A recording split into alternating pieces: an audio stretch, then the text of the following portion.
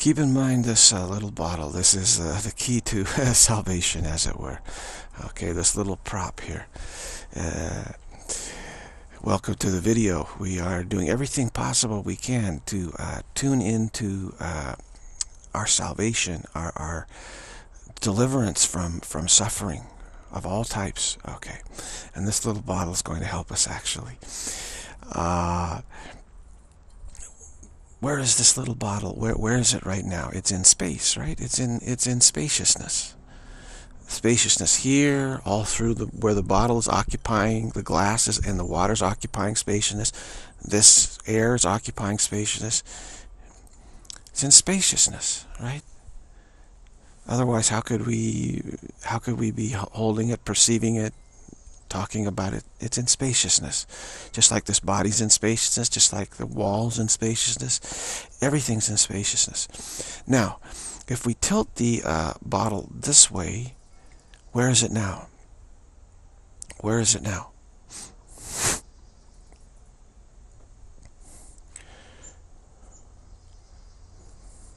Where is the bottle now? Is it is it not in, in, in spaciousness also? We tilt it back. Is it not still in spaciousness? We tilt it again. Is it not still in spaciousness? If we go this way, is it not still in spaciousness? So the movement of something doesn't have any effect on its relationship to spaciousness. The fact that it, it is that it is in 100% in spaciousness doesn't change according to the movement of it at all. Now, how much of this bottle is in spaciousness, pure spaciousness? How much of it? Is it is it 99% and the lid is not not in there? You know, it's like we take the lid off and say, okay, now it's 100% in spaciousness, and then we put it back on and say, no, no, now it's 99, 99% in spaciousness. Is that is that really true? No, the lid is also occupying spaciousness, is in spaciousness, right? So it's 100%. There's nothing we have to modify with this bottle in order for this to be in pure spaciousness. it's still in pure spaciousness. put the lid on, it's still in pure spaciousness. So modifications don't do anything at all. We could pour the water out. It would still be in spaciousness, right? It wouldn't change that fact at all.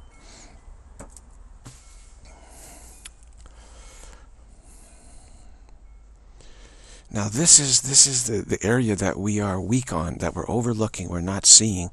And this uh, brings about what we feel like a misalignment with God, with there's feel we feel we don't feel right. It brings about a feeling of uh, there's a flaw. Somehow there's a flaw. We feel something's flawed. So let me, let us look at this because this is the key area. As I have always said, fundamentally, what we we are reality is not flawed, but we're trying to to imagine a flaw in it. And this is the only trouble. This is the root of our troubles. There's no actual cause of our troubles other than us desiring that there be a problem, a trouble.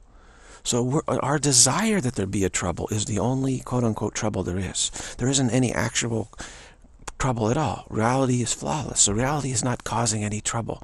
It's our own imagination, its own desire to actually be greater than reality.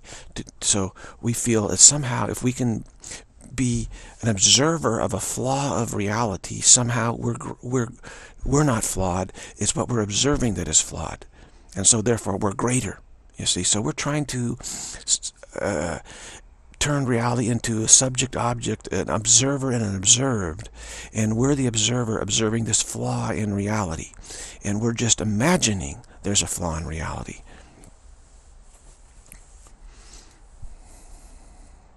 Because we, we, we are imagining that there are seams to, to spaciousness. And that by naming this thing, we say, well, there's this thing, and this thing is, is we say, well, this, thing is in spaciousness. But what about the area between this here and here? Isn't that also in spaciousness? This bottle, isn't, the, isn't where this glass starts and where it ends, isn't all of that also occupying spaciousness?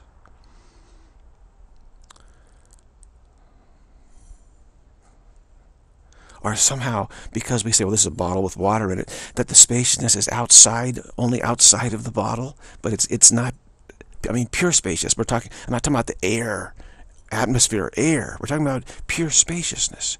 Even the air is in pure spaciousness. But is, isn't this occupying spaciousness between this, this side of the bottle and this side of the bottle? okay, this is, this is, we, we are imagining there's a flaw with spaciousness. Pure spaciousness. We're imagining a flaw in it. And this flaw does not exist, actually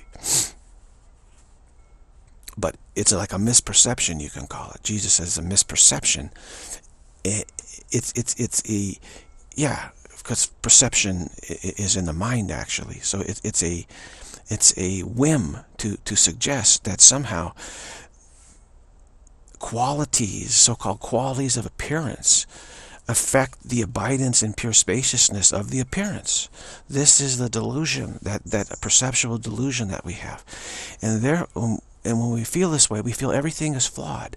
Everything is is in in some sort of uh, align, a com competitional alignment with everything else, and we need to modify this and that. And there's some way we have to. There's obstructions. There's blockage. We have to somehow heal, fix it, and our, our thoughts get all tangled up in trying to do something, do something, do something, to right the wrong, to fix the problem. But the truth is there isn't any problem. So people tend to think that an enlightened being has, has, has, finally found out the secret of how to fix the problem with the, with with with reality, and so everyone goes to them and, and asks, okay, what's the answer? What's the answer? How do I how do I fix it? And the answer is there isn't any problem. The enlightened one is simply one who has stopped trying to imagine there's a problem where there isn't one. That's all. And then, of course, the entire scope of trying to fix a non-existent problem is it's irrelevant at that point, isn't it? There's no worries about uh, or cares about, well, you know, are we going to fix it or not? You see, right now everyone's concerned, like, ah, how are we going to fix this problem? And the enlightened one knows there is no problem. So obviously they're not worried about how are we going to fix the problem. Or, gee, how can I um, micromanage everything and control everything so the problem gets uh, taken care of? They're like nonchalant. They're nonchalant. They have this blissful nonchalance. And that cannot be faked, actually. It cannot be faked. Some people go into trances and try to fake it. But they're not in trance, a trance, really. They're not in a trance state, no. You can tell that they're, they're very aware, and yet it's this, they're nonchalant. They're carefree because nothing that happens here matters in the slightest bit. There isn't any agenda to fix a problem. Reality doesn't have a purpose like that. Reality doesn't have a problem. So the idea that we're purposely trying to improve or make something better or fix something that's not right or readjust and modify, that's all absolutely, uh, totally irrelevant. And so they're not concerned about, well, what's going to happen? How is humanity going to uh, adjust itself to to the to the problem, or how's it going to fix the problem, or how's it? There isn't any problem. so, so that perspective, you see, is quite different than than what what we call a normal perspective, which is really a, a, a whimsical state.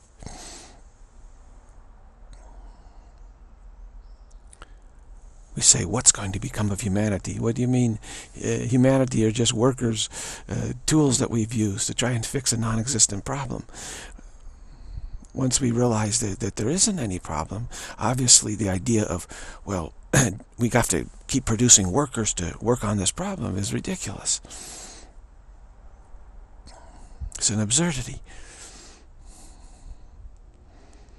So what becomes of our great, our great uh, a great uh, epical challenge to fix the problem of reality. What becomes, we just, it's not necessary. And, and since there isn't any problem, when it's like asking, you know, if there's no problem at all and someone's busy trying to find a fix for some that no problem, what do you say? They just kind of say, oh, oh, I don't need to keep being busy with that. I don't need to keep occupying myself with, with that endeavor. There's absolutely no call for it, no cause for it whatsoever. So we, we will simply no longer busy ourselves with, with trying to fix a non-existent problem. That's all. We don't have to throw away the tools.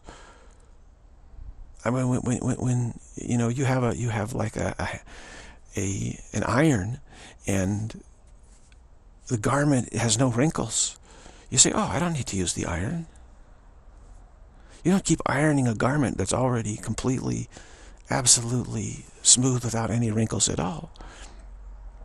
You just put the garment, uh, you put the iron aside and unplug it, or you can leave it plugged in, just turn it off, and just say, well, I'll, I'll you know, just let it sit there on the, uh, onto the side of the ironing board. I don't have to use it. I don't have to use it. So what do we do with tools that we don't need anymore? Right? We just, uh, just don't use them, or we, we can, uh,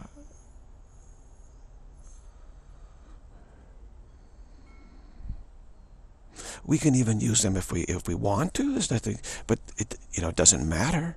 There's no there's no wrinkles. We can iron if we will keep iron if we want to, but you know we really we're carefree. We realize eh, I can keep going through the motions, but I'm not ironing out any wrinkles. There aren't any wrinkles. But if I want to, I can keep going through the motions. Why not? If that if that's what we want to do.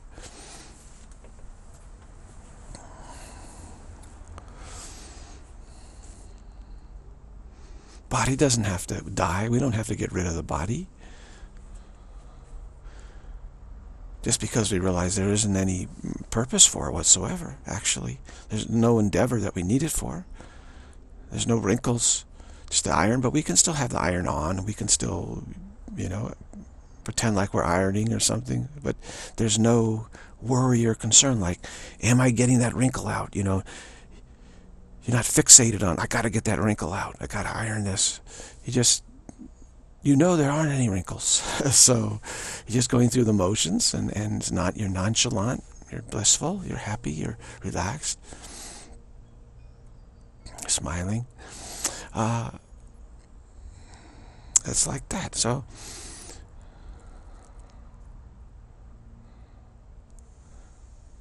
see, we think that the, the, the great enlightened ones are here to uh, like be some sort of great CEO uh, of the world and say, okay, everyone, uh, I know what needs to be done, and I'm going to organize everybody properly so we can all get it, get the job done. You know, that's what people are waiting for. You know, waiting for a Messiah, a Savior, who will lead them. It's like the Jesus. They're waiting uh, for a, a king in the lineage of King David to be a warrior uh, king to consolidate uh, the, kingdom of David and uh, and conquer the surrounding uh, entities, the Romans, the uh, the Persian Empire at that time was there, and uh, there's a lot of different, you know, Sassanid or was that the one before that? But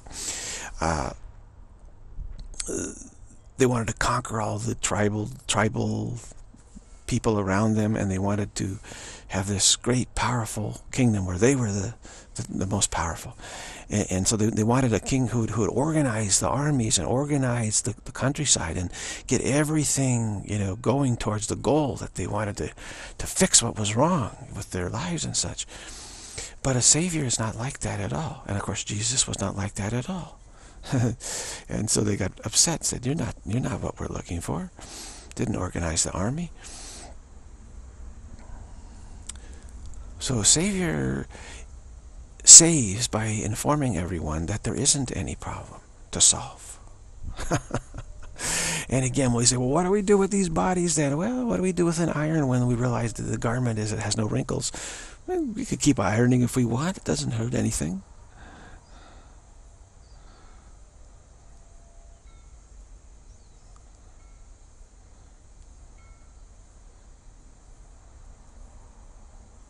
And but we say, well, we, we went to a lot of effort to build this this tool, the, the body. You know, well, we can keep keep keep the body around if we want to. No no reason why we we don't have to get rid of it. No, there's nothing is wrong. Nothing wrong. That we keep the body uh, alive if we want to for as long as we want. Actually.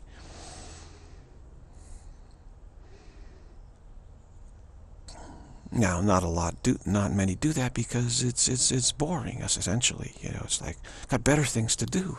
You know, if you don't need to iron a garment, wrinkles out of a garment, you know, don't you have better things to do than sit sit there and play with the iron? You know, of course, of course we do, but sure we can if we want to. Why not?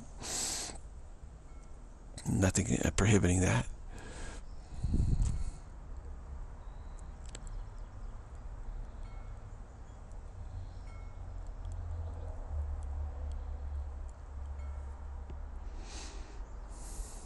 Okay, so remember here we're practicing, which means full stop in the wow. That's our essential practice, uh, along with assertion and flipping the script.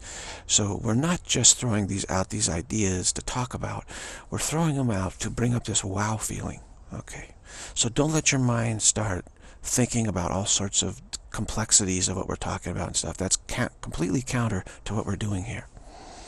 What we're doing here is we're aiming to feel this wow feeling and then stopping there. That's very important. So we get used to the root, the essence of what's being said here, instead of trying to lose ourselves in a jungle of technical legalities about, well, what about this, what about, what about, what about. No whatabouts. There's no whatabouts. There are no wrinkles at all. And so just stop right there.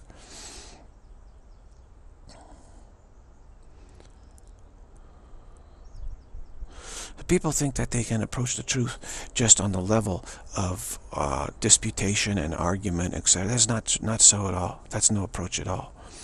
Uh, one has to approach it in a, some structured way.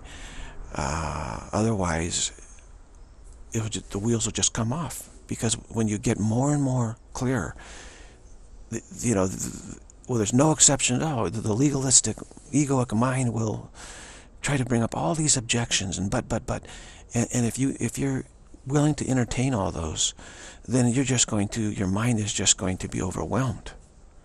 And you'll get despondent and you think wow I, I thought I had it but now I don't have it anymore.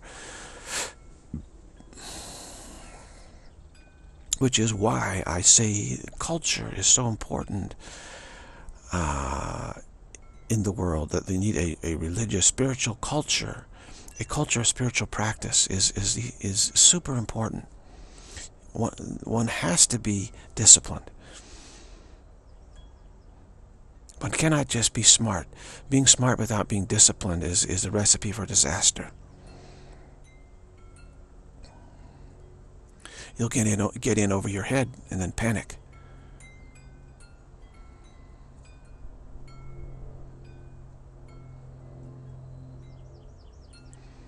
So those who are able to be disciplined, those are the ones who continue, get clearer and clearer and clearer and clearer and clearer. And ultimately, perhaps they then are contacted by what you call gurus or saviors or enlightened beings. Because the contact doesn't cause them to go panic or, or uh, they maintain the discipline. Jesus, maybe I'm interacting with Jesus in a dream, uh, and then, but today, you know, I'm, I'm working on uh, clarifying more, but full stop in the wow, sitting here quietly. No matter what happens, I keep, you know, keep the discipline going. So it's a combination of being smart and being disciplined. Both is what's required. You know, you, it, it, you, you do need to be smart, sure. Smart about it, wise about it. But that comes along with the discipline. The two go together. They reinforce uh, one another. One without the other uh, is a failure. And it, this discipline is not being taught in our culture at all. So that's why I say we, we have a culture of, of, of, of smartness without proper discipline, which is a disaster, actually. And there's plenty of people in the world who recognize the, the direction we're going in in this world is a disaster, cultural disaster. And it's showing up in obvious ways now. I mean, the symptoms are showing up severely. That people are making fundamental, severe fundamental reasoning mistakes and not even catching it at all. And it's it's become a it, it, that those mistakes become the new culture.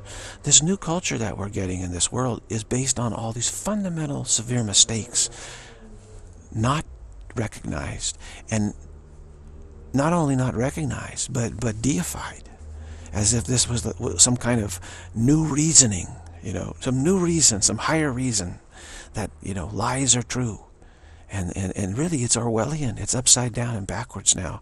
And this is the, the foundation of the new the new culture that that is uh, gripping the planet.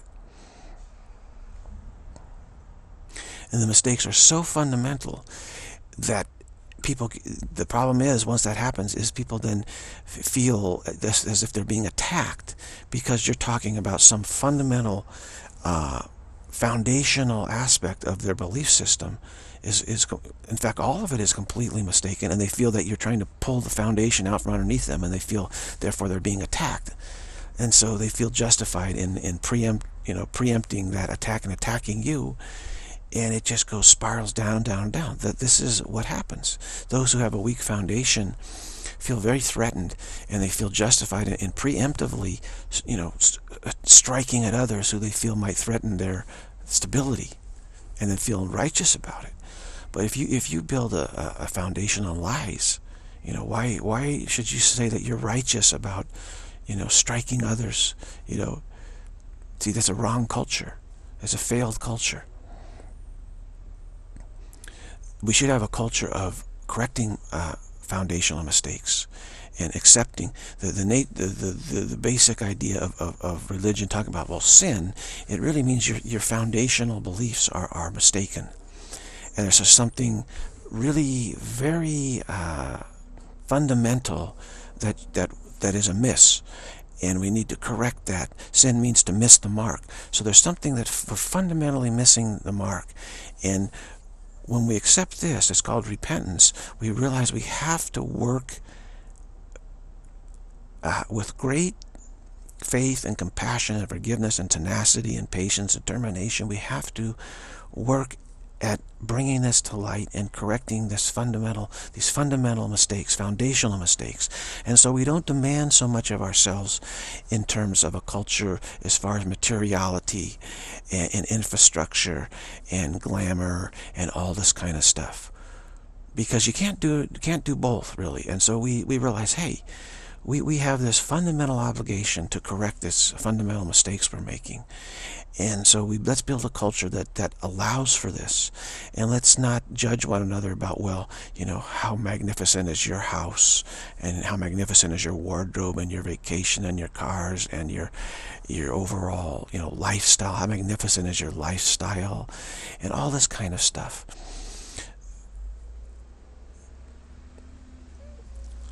We don't judge uh, according to appearances and lifestyle as such. We we put our attention on correcting the foundational mistake, and and this is so difficult to do that we're we're going to be uh, seem to be uh, stressed out by it. But we don't use stimulants to try and do both. You know, be correct the foundational mistakes and still live this glamorous lifestyle, then then you start getting into drugs, into stimulants, and and, and that makes severe problems. So we have what's called a wayward culture right now, uh, secular, humanist, materialistic, consumeristic, corporate culture. And you can't do both. You can't do both. Yeah, I know it's very glamorous uh, in, in, the modern culture to say you, we, we can do it all. You know, we should, we can do it all. This is simply not true.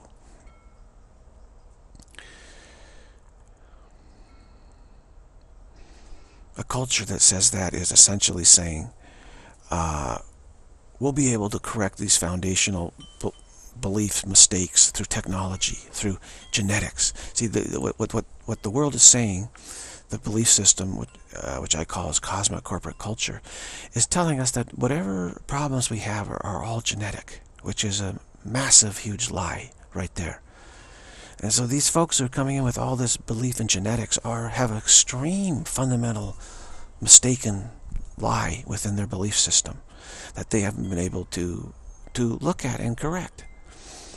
And and the more they keep emphasizing, you know, technology, you know, the, the, the more difficult it gets to correct it because you're expected to, to keep keep up with all this, you know, just update everything constantly, fixing this bug, fixing this bug, looking for this update, listening to that update. Have you got the latest thing? And this consumes your attention. It consumes your, your life. It's just like a rat race. Like Silicon Valley is a perfect example of what te where technology takes you. Is it's this extreme shark tank.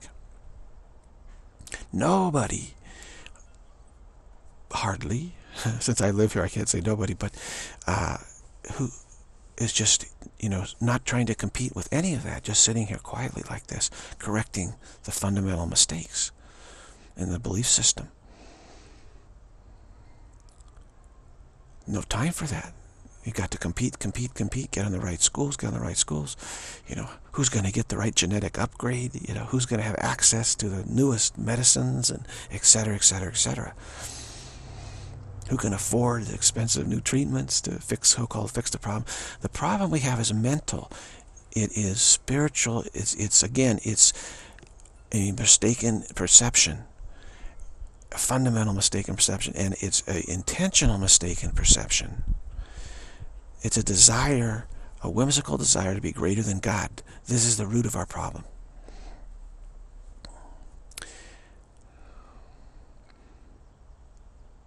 So, and actually, we don't have any problem at all. But we are insistent upon seeing, that, believing that we have a problem, and then fixing it or adjusting to it. So the effort to do this is quite extensive. And that is why in times uh, where people did focus on correcting this problem, for instance in the Middle Ages, we tend to call that the Dark Ages. It's not true. Only from a materialistic standpoint would you call it the Dark Ages. Because, you know, the, all the glamour and building and architecture and lifestyle of the Roman Empire seemed to, you know, collapse. And, and, and the materialist says, oh, that's horrible. All the know-how, how, how to produce a glamorous lifestyle, we've, we, we lost it. We've gone into a Dark Ages. That's not true. What what we did was we, we retreated to spiritual retreats and spent our time in prayer and contemplation, which is a vastly higher culture, actually. Leading a simple life, un, unglamorous, simple life. We did not focus on our clothing and our hairstyles and our appearance in pictures and how, and our glamorous, uh, you know, material material lifestyle and how beautiful our lawns were and our yards were and our estates and all the superficial stuff. What kind of, you know, um, food and, and, and all this fluff, you know, that we're obsessed with as a culture now, the world. Uh, no, you, you wear, wear a simple, you wear a simple woolen garment or something very simple. And, and, you have a very simple room and a cot in a simple room. You have a bowl and, and everything is simplified. But what you do, what you then have is time to begin to look at your belief system. And you begin to recognize, oh, this isn't right. Well, why is this not right? Oh, well, it's because this isn't right. Well, why is that not right? Well, it's because this isn't right. Well, why is this not right? And you begin tracing it back. And eventually you get to realize that all of this is, is, is, is simply based on our own desire to be greater than God. Spiritual desire. The world the bodies, everything is actually based on all this. We're frantically trying to identify uh, the problem with reality and fix it. You know, so we've we've designed these bodies. We design bodies. Spirit designed bodies. Spirit designed what we call form, time, space, process, and form is a is a mental construct. It's like a matrix, a mental construct. But this mental construct doesn't cause the slightest problem with reality. That too is abiding in pure spaciousness. Even a dream. A dream is also abiding in pure spacious thought forms. A dream is just these um, thought forms. Those thought forms too are abiding in pure spaciousness. So nothing's out of kilter. Nothing's out of relationship with pure spaciousness. Everything is 100% abiding in pure spaciousness. There isn't any problem. There's never been a problem. It is all much ado about nothing. But you're certainly not going to realize that as you pursue a glamorous lifestyle. This culture demands that you pursue a glamorous lifestyle. It, it demands that you be some super fixer, you know, some super problem solver. You know, it demands it. It absolutely demands it. I, I, it's worse now than it's ever been. And it says if you don't do that, you don't have a right to be here. That's what it says. Well, don't be surprised if those who are wise uh, end up not being here, being in a much better place, actually.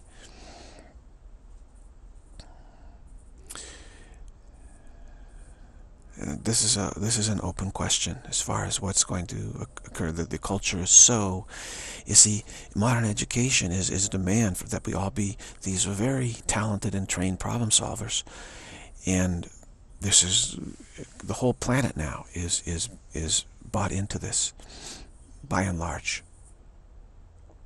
By and large, uh, and certainly by and large the leaders of not only the leaders in the uh, all countries in the planet, but their cabinets also, and their bureaucracy also. All of these have bought into this lock, stock, and barrel.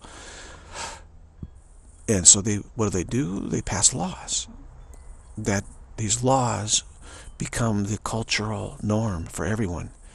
And you have to follow those, supposedly have to follow them, uh, or suffer severe consequences. And we we believe that we, we you know have discovered the problem is genetic. You know, the, the problem with reality is genetic. reality doesn't have any genetics. Okay, there's no genetics. Does pure spaciousness have genetics? Does zero dimensionality, pure spaciousness have genetics?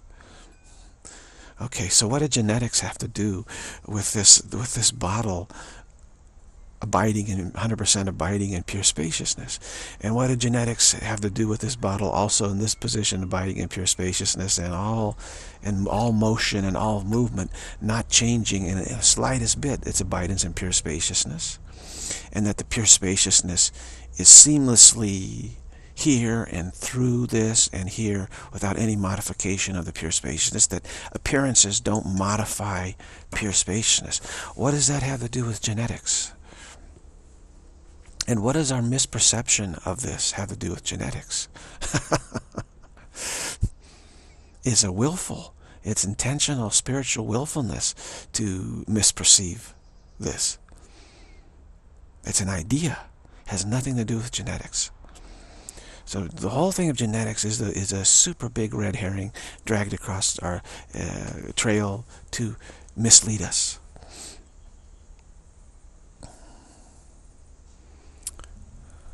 Is this recording? Good. Is this recording? Uh,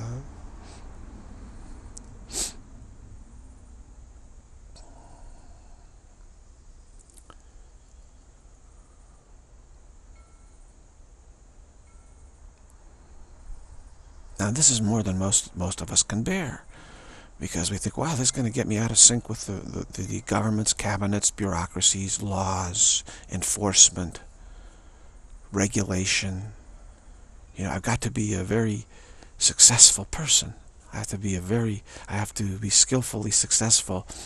Well, how about being skillfully successful in recognizing mistakes, correcting mistakes, recognizing the truth? How about being very skillful, successful in that? So in a religious, spiritual culture, success towards a glamorous lifestyle is discouraged success towards some, you know, being really skillful and talented in, in, in, in various ways uh, that are counterproductive are, are, are, discouraged, absolutely. Just as in this, this culture and society, success towards spiritual enlightenment is severely discouraged.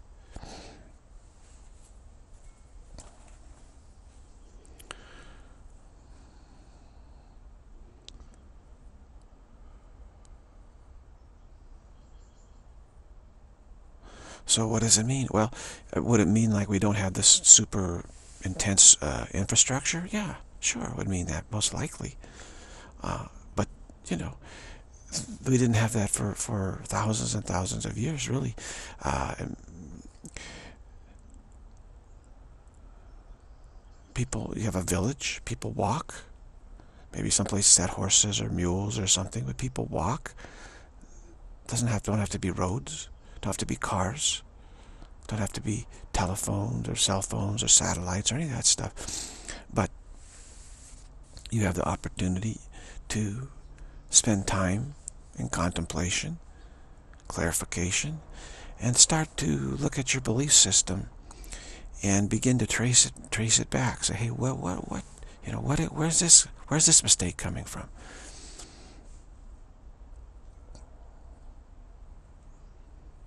In a sense, there's nothing you need to do. There's no problem with reality at all. You don't need to take on the appearance of some big problem solver. You know, don't not worry that God is going to strike you down if you don't fix the problem of reality or something. See, we we have the belief that we're superior somehow to to simple village people, uh, because we're we're solving so many problems. Really, modern the modern world is how many hasn't the modern world caused more problems with the world than than a simple village life ever has? Hasn't science caused more problems? What kind of problems does, a simple village life have? You have a hut, you you grow some rice, you have some chickens, you you you you have a you know a cow or something, and, and, there's crops and fruit, and and you live a simple life, a little simple marketplace. You go to the marketplace in the morning, get some food, you know, and uh, you have a, a nice little veranda, porch there, beautiful vista, and trees and fields. It's beautiful, and you sit quietly and you spend uh, you know an hour two three in contemplation in the morning maybe three hours of contemplation in the evening time and others in the village are doing the same. There might be a enlightened being in your village or one that travels from village to village. You spend time with them, getting used to it, getting familiar with the attitude that all is all is well, all is well, all is well. And uh, before you know it, maybe before the end of that body life, you're enlightened. You're enlightened. What problems have you caused for the ecosystem, for the world, for all, you know? Uh,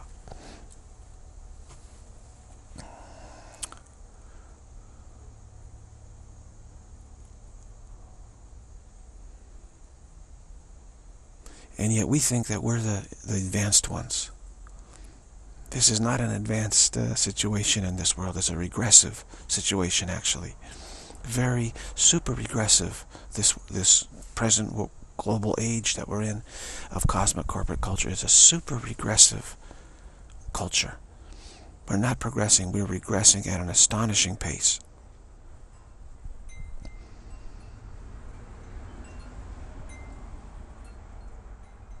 Do we need all this vast infrastructure? In a village, one who's enlightened, just sitting with the village people who are also in contemplation, practicing quiet, discipline, quiet, and uh, it's very simple.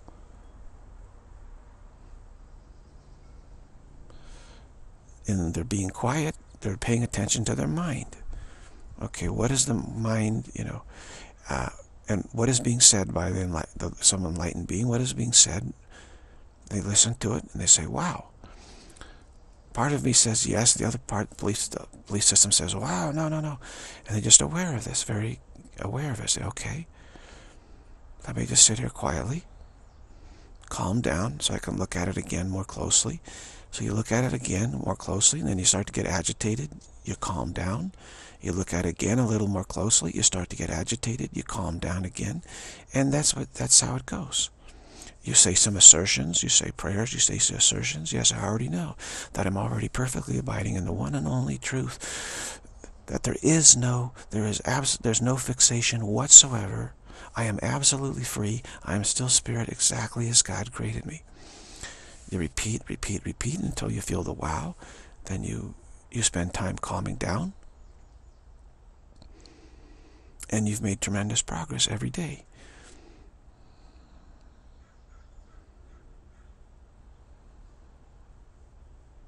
I mean, one monastery, for instance, in Tibet produced more enlightened enlightenment than this entire global culture is producing in, you know, in a hundred years. Know, it's just, it's just no contest. I don't know the exact numbers, but there, there, there are some monasteries in Tibet that produced maybe thousands and thousands and thousands of enlightened, enlightened cases of enlightenment, situations of enlightenment over, you know, maybe a hundred, couple hundred years or whatever. Uh, how many, uh, how much enlightenment is this global, global corporate, cosmic corporate culture producing in a hundred years? How about zero?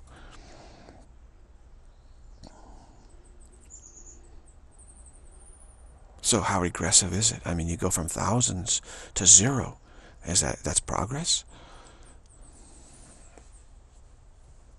And people are frightened. We think, oh my, how I can't be successful if I'm not have this great infrastructure, you know, it's empowering my success. Now, just sitting here quietly, this is the key to success. Because you're able to pay attention to your mind and you become aware of these two belief systems, you know, and, and, one you realize, wait, wait, this is saying this and this is saying this. This is what the one is well, something must be a lie and something must be true, and then you're, you're aware of your reactions. When you hear the truth, you, you feel, yeah, this is it, and and you say, but wow, this is amazing. You know, you feel this mentally, your mind. You're working on your mind. You're working at the level of the mind ideas. Mental clarification is where it's at.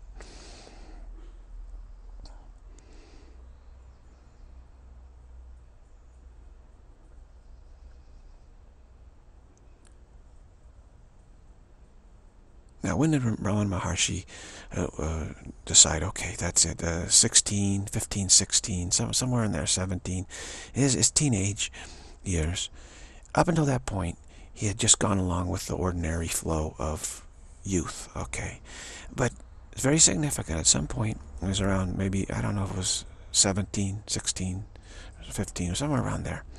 You can Google it. But uh, he said, okay, now it's time to turn my attention toward spiritual matters. Actually, somehow he came across something about the southern Indian saints or something that just suddenly galvanized his attention. He was tremendously interested in it. Before, he was like a, the kind of uh, young boy who was very good at sports and, and loved playing sports and was really, really good at it. And, and it was just a real congenial sporting sort of youth. Okay. So this seems to be uh, the pattern here in this world. And then, and then he says, okay, now the body's fully grown. Basically, uh, it's it's it's it's time to stop identifying with the world. Boom, and he just lay down and just it just did it. It's okay. He just was able to just like that. He, he most likely was a reincarnation of a, one of those South, South Indian saints, uh, great saints. So uh, we allow for youth, you know, in its play, okay. But then at, a certain point, you know, then it's time to flip a switch and say, okay, let us start training. But uh,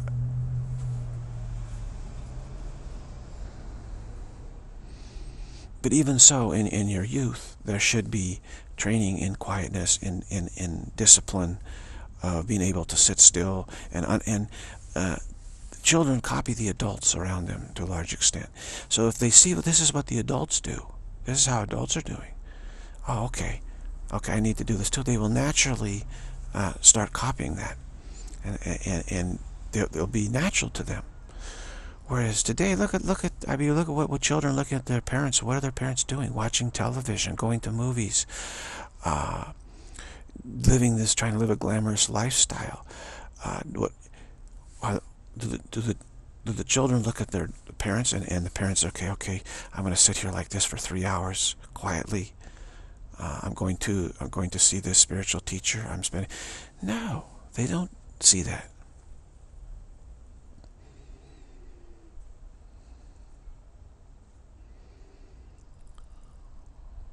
So the bad habits are being passed on from generation to generation, to say the least. And you get those coming into this world now who relish bad habits and adding many of their own, actually.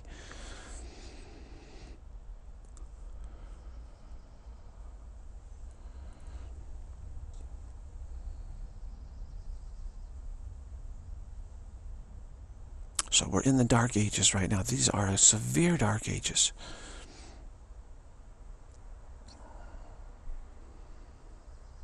You know, many people lived in, in caves in the past, underground. There's a lot of underground complexes, like in Turkey, massive underground complexes.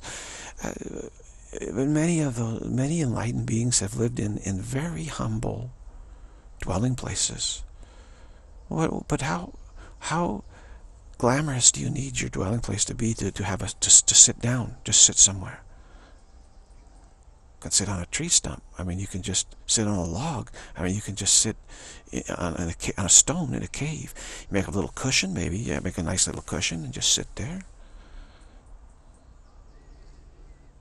And turn your attention to the to the workings of your mind. Turn the attentions to the workings of your mind. That's where you you will find the answer.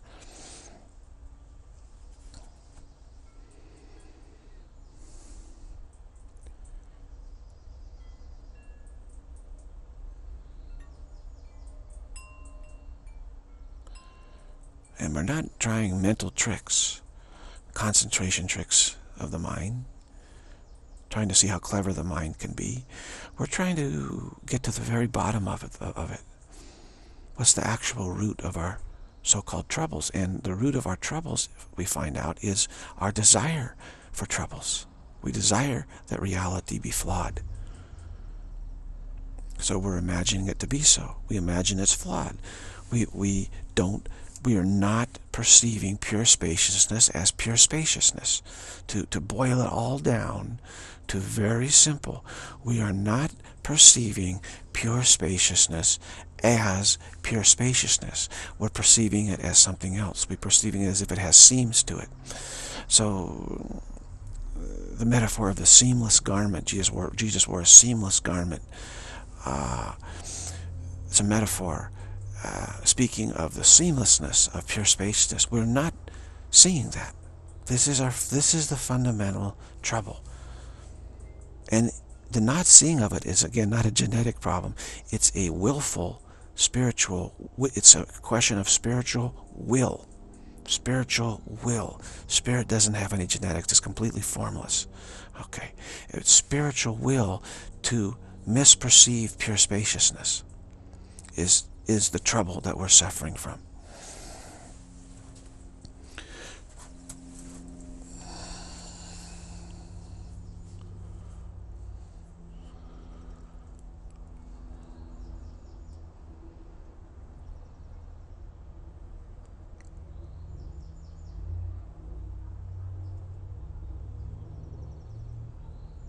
So we can let go of this spiritual willful misperception of pure spaciousness. It's just sitting wherever we are, or walking wherever we are.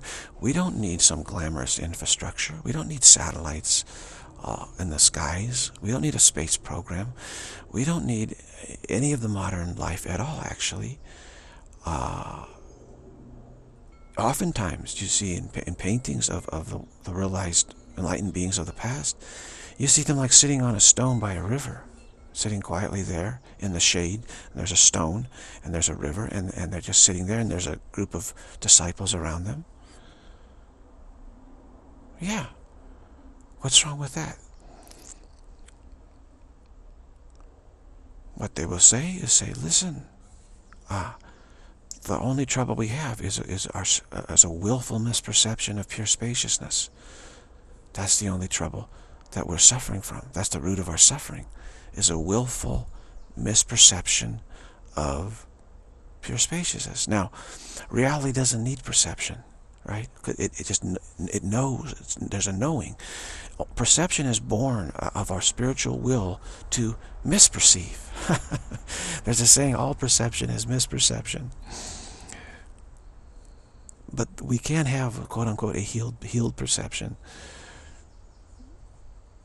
But if, if you know pure spaciousness is this seamlessness as it is, what is there to perceive?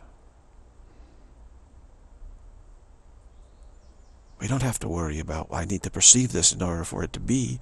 The idea that he, the, perceiving gives us an imagined power over reality because we can always misperceive, right? And we think, oh, I just changed reality. It, it, it looks different now.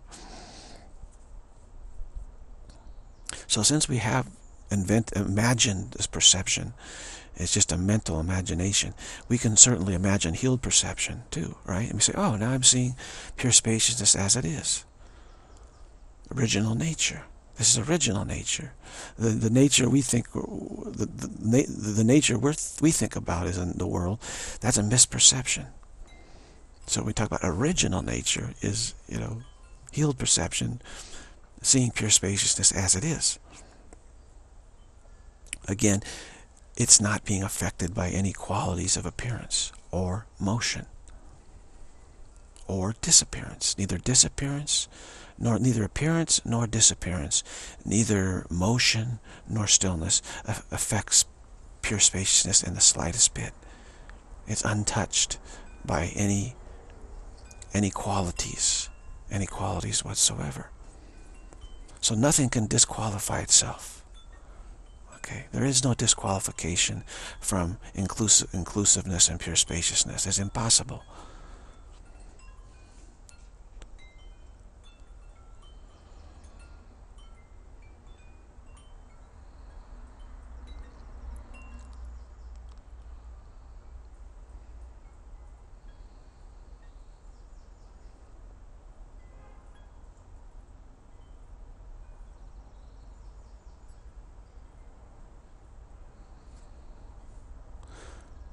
So what are what are these these these these this spiritual devotees sitting there on the banks of a river?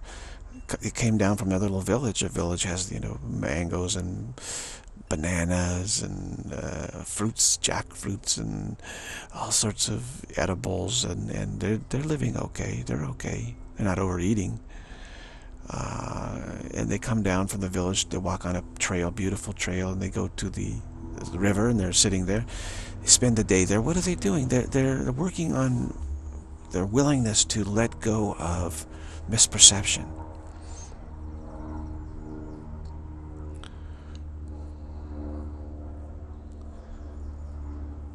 And the fear that they have, you know, the, the, uh, the continuity fear that grips them. They say, wow, what's this? How come I, I can't let go of my misperception. Oh, continuity fear. I'm, I'm used to it. Misperception. They say, uh-oh. Then, then they realize, oh, wow, I have to gradually evaporate my continuity fear.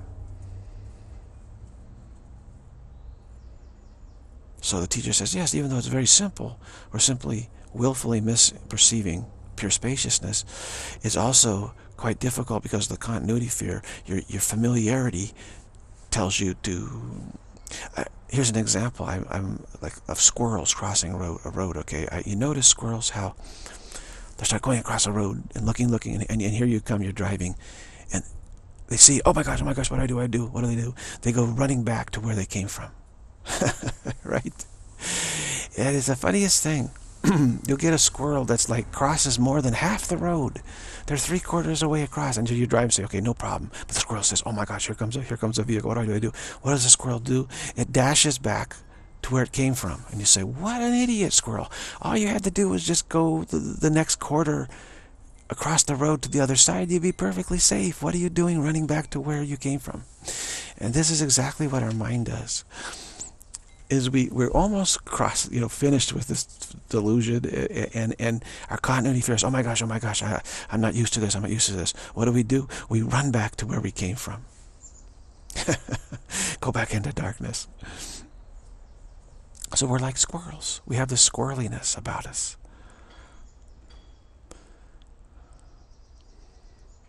And we keep dashing back to what's familiar.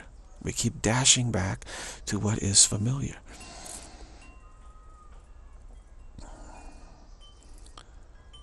and this is a habit. This is a habit, a continuity fear. So it's very frustrating, but there's there's no way around it. You just simply have to keep on getting familiar, getting familiar, getting familiar. Even when we, we cross the road all the way, the squirrel crosses the road and they're on the on the edge of the road now. They're looking, say, oh, am I safe? Am I safe? And they, here comes a car. They go, oh my gosh, I don't feel safe. And they go dash back across the road to where they came from. And saying, what are you doing? Just stay where you are, squirrel. But they will not, you know. A lot of times they won't. So even when we see this, oh, okay, I see it. And it's clear for us, we'll still go dash back into darkness, into confusion, into willful mis misperception. Be it ever so humble, there's no place like home, familiarity. And so the great struggle, the great obstacle is familiarity, actually. The teaching is very simple. It's, it's the familiarity problem which is difficult. So you, one has to continually find ways to bring themselves back again and again and again and again and again to the basic teachings and keep reinforcing it, keep reinforcing it, keep spending time with it. Uh, familiarity is a very severe habit along with all the threats that we've told ourselves. You know, we've, we've threatened ourselves. So we've spent our time imagining threats, essentially. Say, how can we uh, keep ourselves from just simply, you know, perceiving pure spaceness as it is? Oh, let's threaten ourselves and tell us if we do that, we'll be annihilated. You know, we'll ruin everybody else's life. We'll, you know, we just, we, we've invented all these terrible threats to frighten ourselves, severely frighten ourselves. And, and so all of those also constitute uh, trouble for us.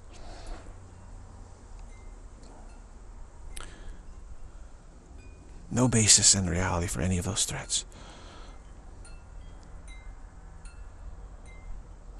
And then we've, we've invented all sorts of fake solutions you know, oh, I'm, I'm out of alignment with reality. Uh, someone something has to die. Something has to be sacrificed. Whatever's out of alignment that needs to be sacrificed and destroyed. And then, and then, see, God's angry because say God's angry because something got out of alignment with pure spaciousness. So that must be destroyed. Once that's destroyed, then God will say, oh, okay, everything's in perfect alignment again, and God will be happy, and then we'll be happy. You know, we invent all these magical solutions uh, to it instead of, of, of recognizing this is all just a fantasy on our part. Nothing's out of alignment. Nothing can ever be out of alignment. There's no such issue as alignment. There's just pure abidance. Everything is already in pure abidance. All appearance inherently arises and subsides in pure, pure abidance. It's seamless. There's no demarcation uh, of pure abidance between appearance and non-appearance.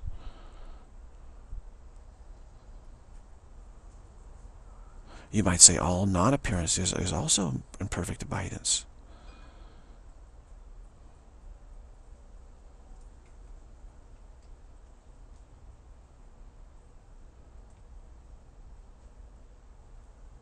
Because it's already, whenever it appears, it will be in pure abidance. It's already that way then. So everything is already in pure abidance. In, in, in the pure spaciousness, zero-dimensional pure spaciousness.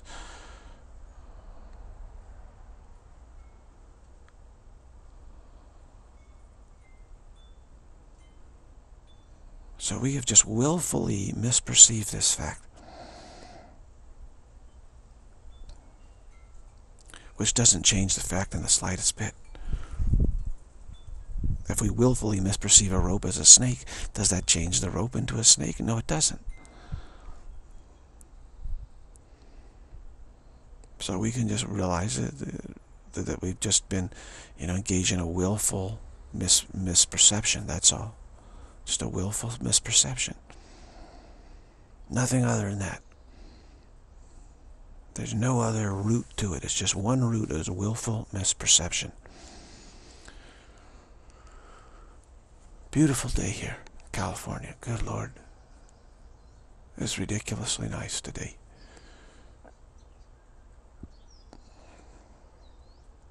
But again, here we are spending time this way. At least here I am. You're in other places around the world.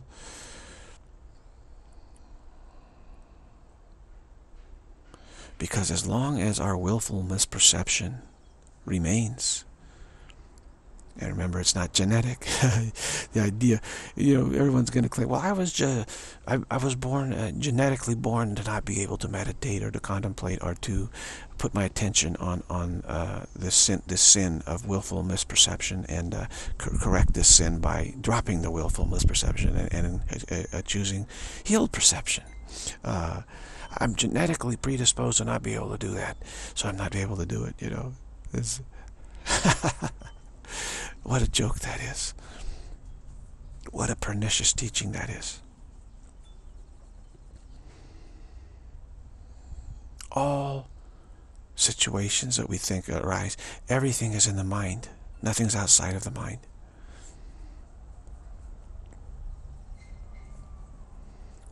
The mind is formless.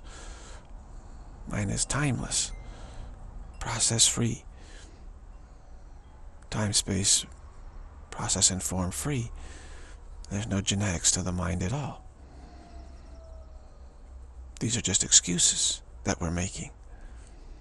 Of our continuity fear, we're so afraid. I don't want to. I don't want to do anything different. What I'm used to. Oh, I need an excuse. I need an excuse. Oh, yeah, I'm genetically predisposed to not be able to do anything other than what I'm familiar with. Okay, there's the answer. And the culture, you know, encourages this nonsense.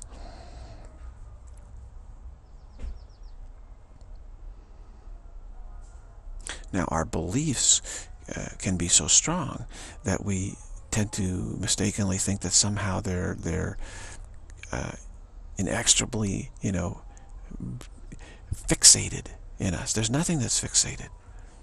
There's no fixated appearance. There's no fixated situation. There's no fixated circumstance at all. Yes, I already know I'm already perfectly abiding in the one and only truth. There is no fixation whatsoever. I am absolutely free. I am still spirit exactly as God created me. This is like a fundamental medication that we should be taking. The medications we should be taking in this world are, are assertions, affirmations, assertions. Those are the medications we should be uh, taking. Now, the other medications, as long as we have severe continuity fear, that then those uh, these situations, these syndromes are going to arise for sure, and if and you treat them according to your continuity fear, uh, okay, that's no problem. It still doesn't cause any any doesn't affect pure spaciousness.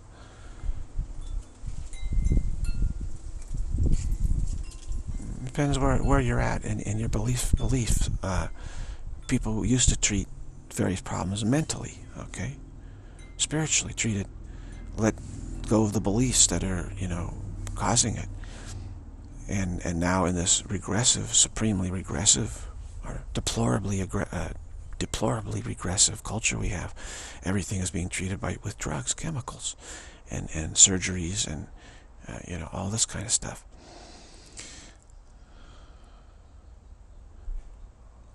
Which is, again, fine. It doesn't affect pure spaciousness in the slightest bit. So, when in Rome, do as Romans do. If you, if you, if you need to have some modality of treatment, then that's what you do.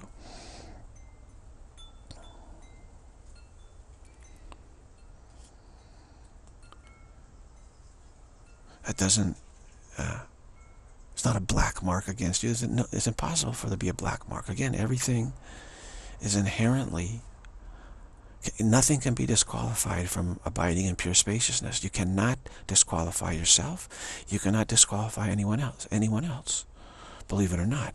Even those terrible people that are making your life miserable, whether they be neighbors, politicians, leaders, uh, social engineers, uh, special relationships, uh, whatever you you know even they are not disqualified cannot from abiding in pure spaciousness. even though we feel like we'd like to disqualify, we cannot.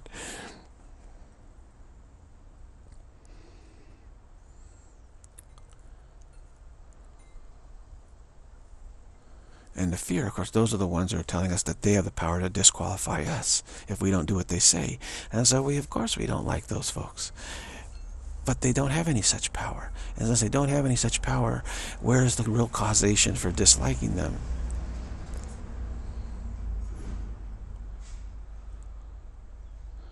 I don't know, it's, it's, it is difficult because they're being very mischievous and, and trying to lead us astray.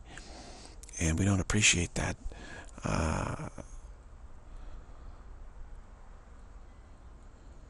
ultimately we have to realize no one can be led astray at all. Even if they believe they're led astray, they cannot be led astray.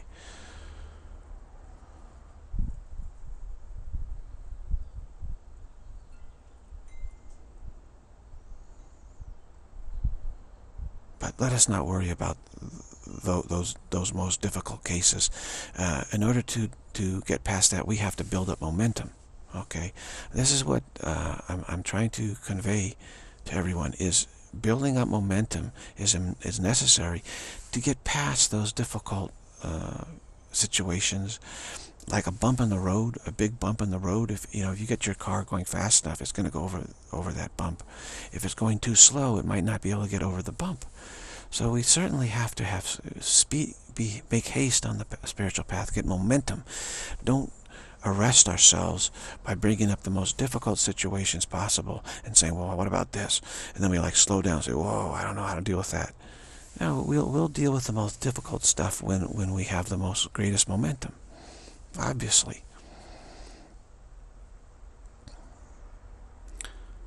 So it's wise to just ignore, you know, the most difficult cases. Say, well, okay, I'll, I'll, when the time comes, I have enough momentum. I'll get, I'll breeze past that also. It's not, not troublesome. But in the meantime, don't dwell on it. Which is why I say full stop in the wow. Once you make, once you build up momentum, just keep the momentum. This is full stop in the wow. I'm just keeping my momentum. I'm protecting my momentum. Don't let in the ego saying, yeah, well, you don't have enough momentum to deal with this. You know, you can say, well, yeah, not yet, but I will. So I'm not going to struggle with it or, you know, worry about it. Well, eventually I will.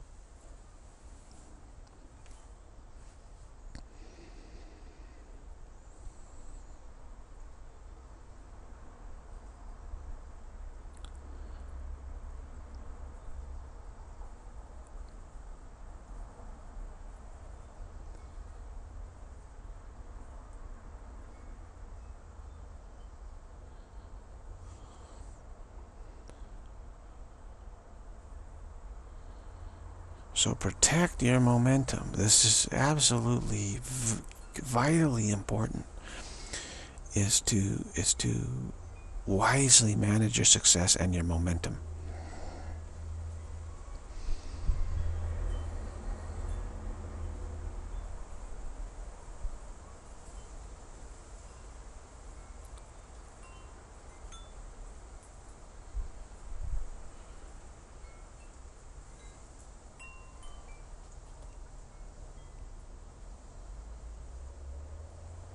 Difficult to describe this day here. It, the seasons are so messed up now that it's like we're having different weather, different seasons than we've ever had before. So we're not uh, accustomed to this. We have like a, a summer sky and, and like some April, soft April breezes and everything's shiny and green like spring and yet there's summer elements to it. Uh, you know, it's just, it's just different. It's just different. So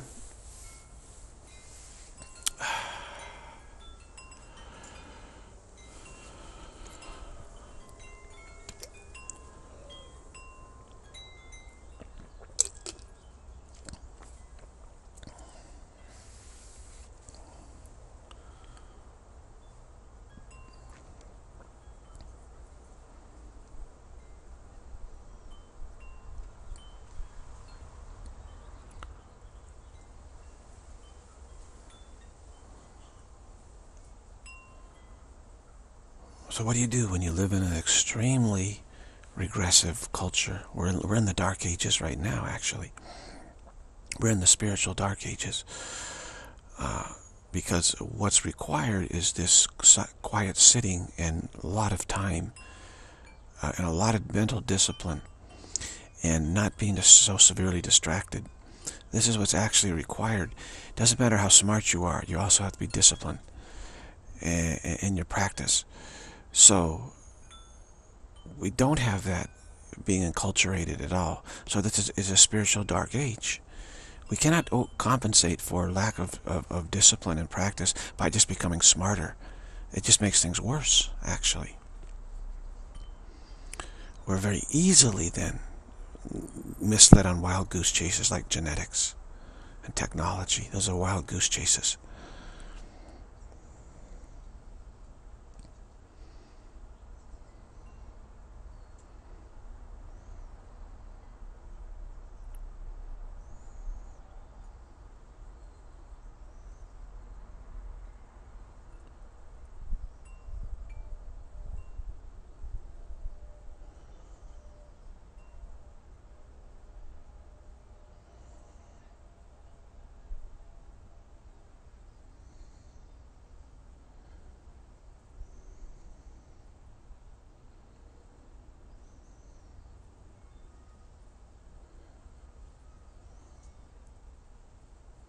So the fundamental attribute of everything is its abidance in pure spaciousness. That is its name.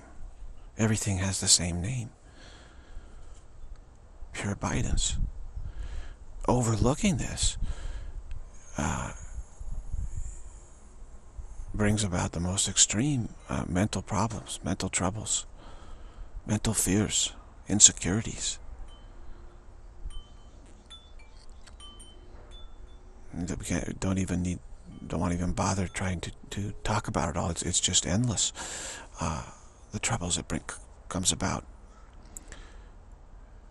The confusion and the fears and, and the desperate devices and defenses, etc., etc., etc., all of that. But none of that has to be tackled directly. All we have to do is perceive correctly. That's all.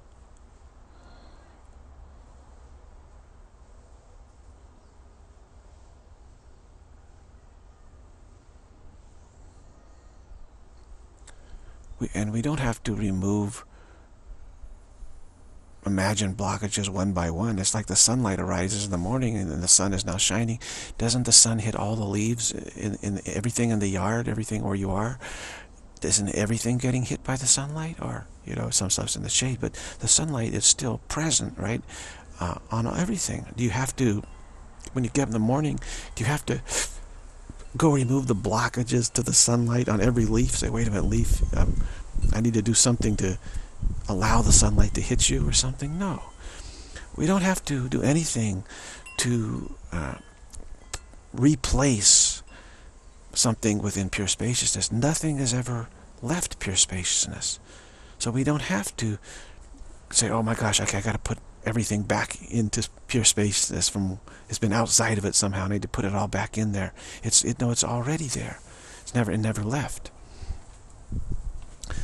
Misperception is not a situation of, of we caused everything to, to leave pure spaciousness, or there's these seams. We just misperceiving that the situation. Nothing left. There are no seams. Pure abidance is, is, is still pure abidance.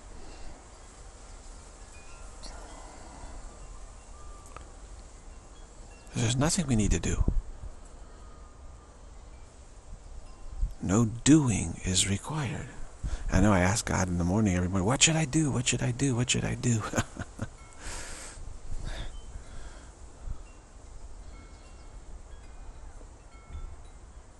God says, well, sit quietly for, for starters. And then recognize you don't need to do anything.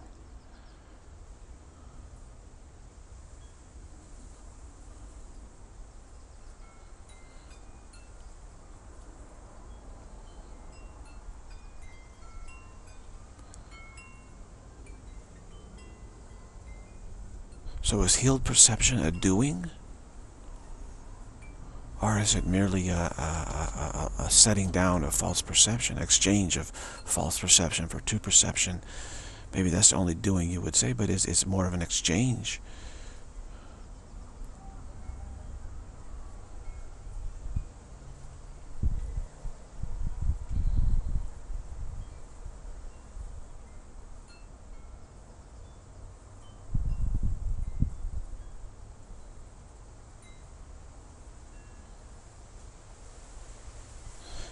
We go slowly, seemingly, because we're getting just familiar with this, used to it.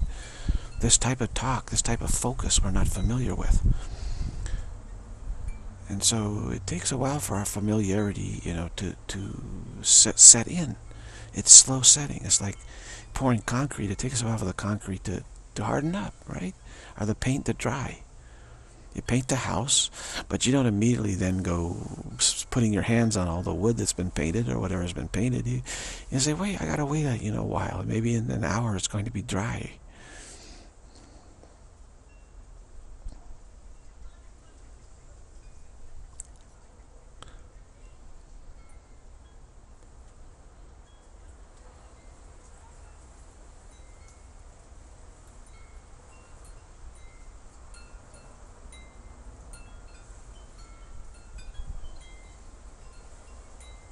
So we're, we're engaging in spiritual reorientation.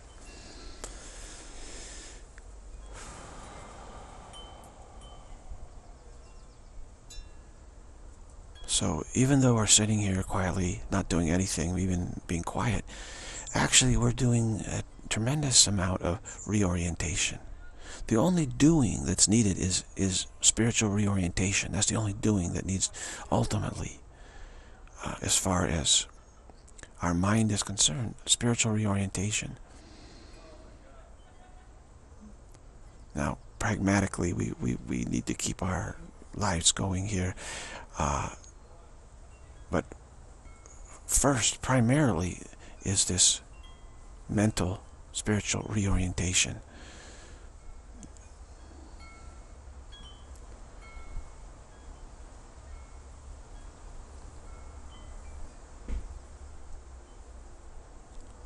Your momentum. Don't let the ego interfere with it. What is the ego? The great interfere with our momentum towards relinquishing false perception. Okay, it's the great interferer, okay, of relinquishing false perception. Absolutely it is. so, obviously we don't want it to interfere.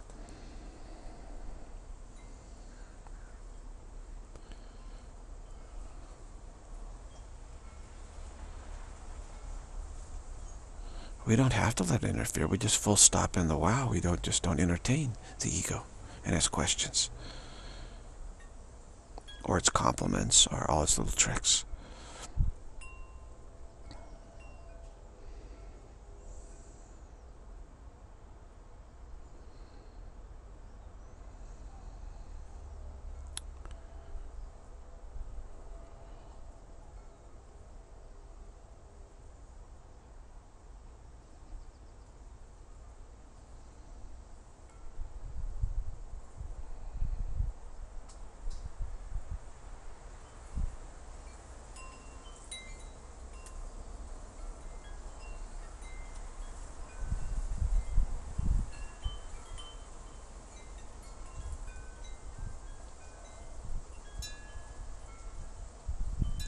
So spiritual awareness fundamentally includes the awareness of pure spaciousness as being untouched by any appearance, unaltered, unblocked uh, by any appearance. This is this is fundamentally part of, of our awareness. We're also aware of the play of appearance.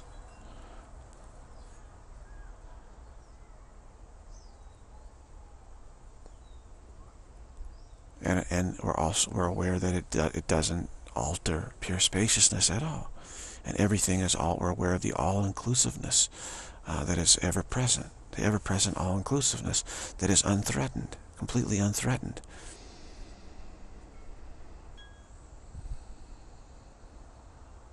This is what we say, well, spiritual awareness is what spiritual awareness is like.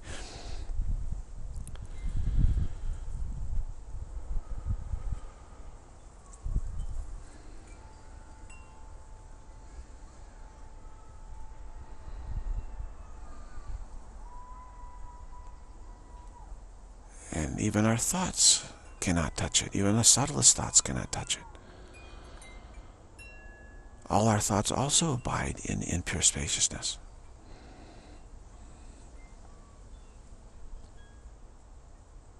All of our ideas also abide in pure spaciousness.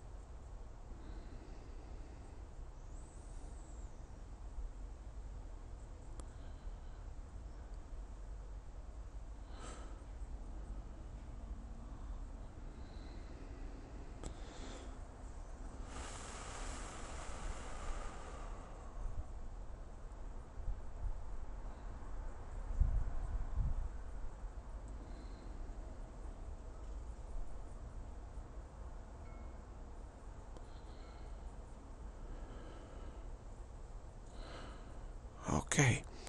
So this has been a good little exercise here. Good little. All right. And we're not done for the day. Uh, hopefully I'll do some more today. But we'll stop this one here for now. And we'll get back to it. Uh, and again, we're, we're in such a regressive culture right now. We're plummeting into the dark ages. So it's really important that you, you, you keep your momentum going very strongly right now.